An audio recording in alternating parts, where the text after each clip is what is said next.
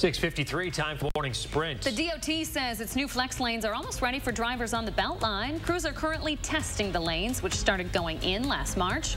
The DOT releasing this video to show drivers what to expect when they go live later this month. State Patrol will monitor the Beltline during peak traffic times and can activate them remotely.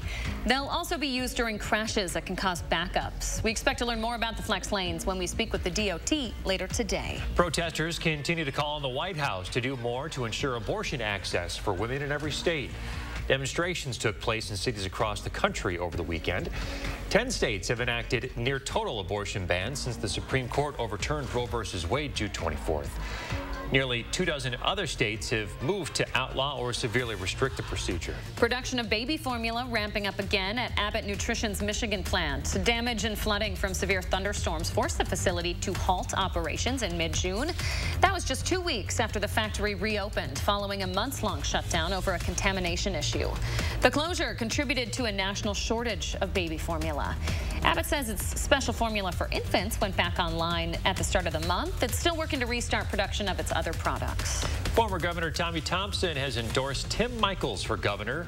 In a statement, Thompson said that he's known the Michels family for decades and believes that Tim has the experience to solve tough problems.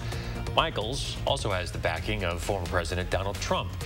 Polls show that Michels is in a tight primary race with former Lieutenant Governor Rebecca Kleefisch. Walking for a good cause. That's what the Boys and Girls Club of Dane County did this weekend in an effort to raise money for their future. The all-day event is part of the Move for Youths in our community. It included a one-mile Black History walking tour through downtown Madison and a stop at each side of the Boys and Girls Clubs in Dane County. This year will mark 20 years of service for the local club.